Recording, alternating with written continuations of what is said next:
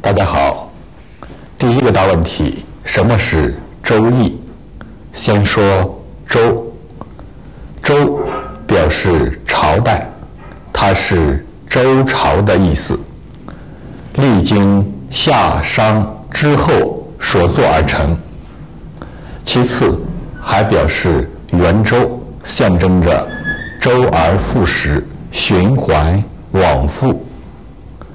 再其次，周表示大而全的意思，其大无外，其小无内，包罗万象。再说易，易首先以象形字蜥蜴这种动物的象形字来表示。蜥蜴它本身动作敏捷，善于变化。能随着时间、空间的变化而变化自己身的色彩。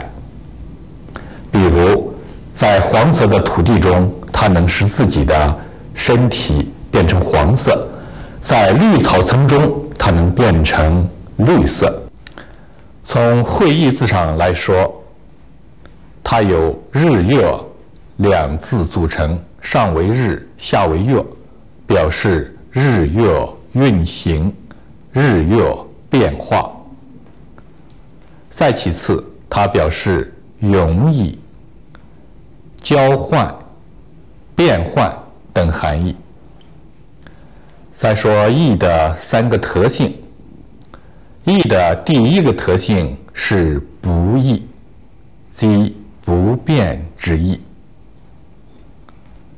它象征着宇宙万事。万物的规律性，任何事物都是有规律的，规律是不以人的意志为转移的。比如星体的运动，它总是沿着一定的轨迹来运行。人生也有它自身的规律，一个国家、一个单位也有它自身的规律性，这是不易之道。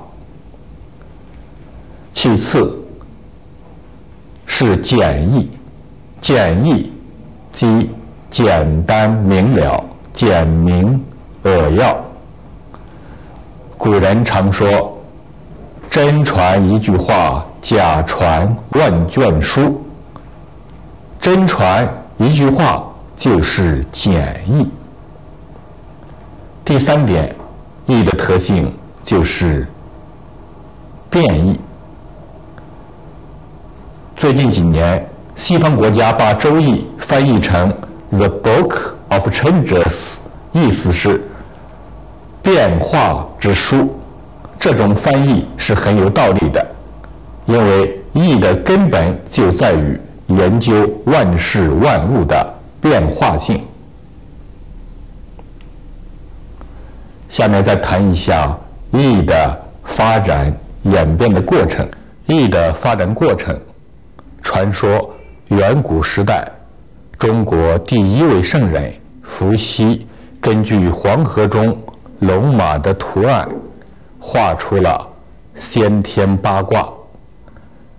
第二位圣人殷商时期的文王，依据伏羲先天八卦演绎成八八六十四卦，并写下了六十四卦卦辞。和三杯八十四爻的爻辞。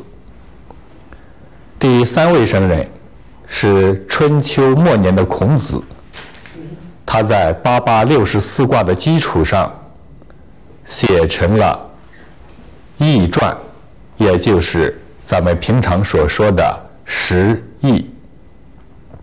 正所谓“人耕三世，事立三谷”。总的说来，《周易》它是揭示宇宙间万事万物发展变化的一门学问。它上论天文，下谈地理，中讲人事，从帝王将相如何治国，到老百姓如何做人，在里面都有详细的论述。《周易》它既是中国的。又是世界的，更是宇宙的，《周易》是古代的，也是现代的，更是未来的。